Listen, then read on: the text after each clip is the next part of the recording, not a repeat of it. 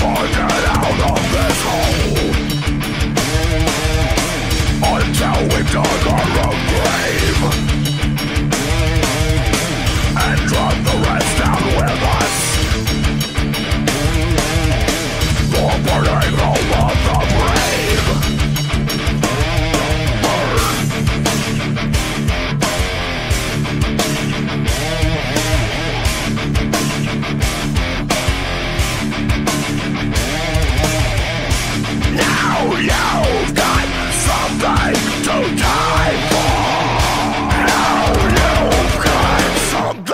to die.